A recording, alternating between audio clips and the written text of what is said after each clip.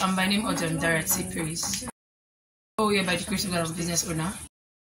Um, I'm into corporate wears. I Okay. sell corporate wears for students, basically for university students, plain tees and plain trousers, pants trousers rather.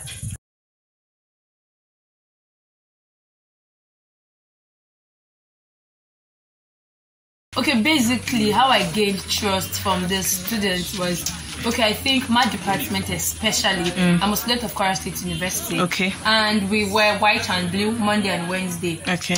So I just thought of there was no one doing the business at church. I just had I just had to get one or two advice from my classmates and I thought of doing it. So I actually wear uniform and I wear it I play it well. Okay. And most of my friends basically. So we all gather together, we take pictures and I post Okay. and with it, I said I had to create a link and I sent it to some departments, to some class reps. They helped me to repost. Okay. And they were actually amazed. So I so basically most of them asked me, please, is this what you sell?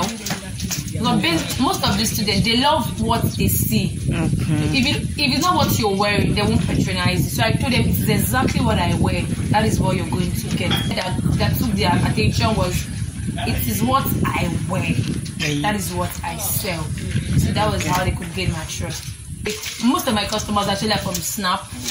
I just post on my platform Okay. and I just drop my I just drop my link down the video whenever I make a snap or a video and I just drop my link. Transaction. Just send me a screenshot, whatever size you want, whatever.